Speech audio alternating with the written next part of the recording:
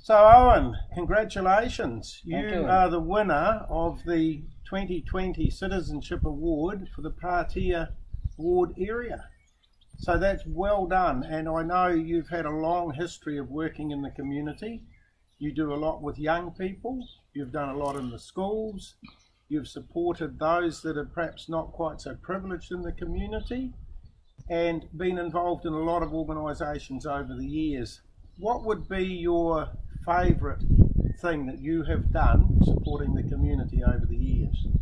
But I think my most favourite thing and my pet thing is the mainly music, which we've been going probably uh, just on about 15 years.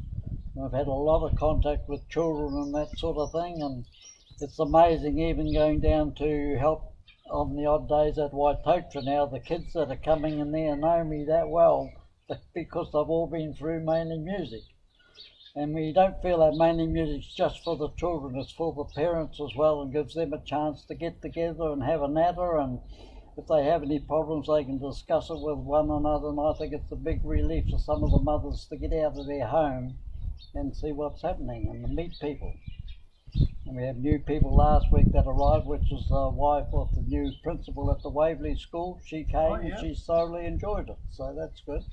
Now living in Waitotra. So That's fantastic. the only thing is that at the end of the program, they never want to go home because they're having such a good time with the kids playing with the toys and not having to worry about them, and they're meeting people, and that's good for the community. And I couldn't think of a better problem to have than people not wanting to go home because they're enjoying themselves so much. So, so good on you for making sure that that is, is keeping going.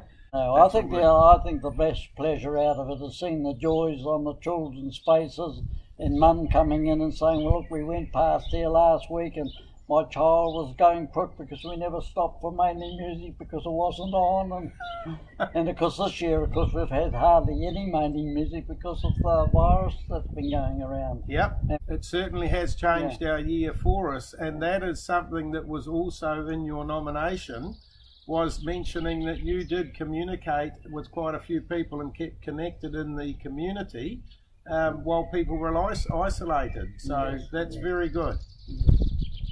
Yeah, well, the thing is, when you're retired like I am, the weather's not very nice. You couldn't go anywhere. You always got the phone to ring somebody up, and yeah. unfortunately, we couldn't get out of the house, so I couldn't go and have cheap coffee with them or anything. And so, other things that you've been involved in with the schools, you do some reading at the schools? Down at Waitotra, I do maths on a Tuesday with the beginners class. No, with the middle class on the Wednesday. Uh, Tuesday, I do reading, and I do maths with the junior class on a Wednesday for the first hour, and then the next hour I do reading with the new ones because there's about 14 new ones there. There's four started down there this term. And it makes it very hard on the teacher if she's got to try and look after them and all the others. So just being able to take a bit of pressure off her hands, it gives the other children a better chance to have a bit better education. Oh, look, that's fantastic. And so, I mean, that's what makes communities is the good work that people like you do, Owen, um, helping those young people, helping those young mums, helping those families, just so many different things. So, congratulations again. Owen, on your award, the 2020 Citizenship Award, and all the best for what you're going to continue to do in the community.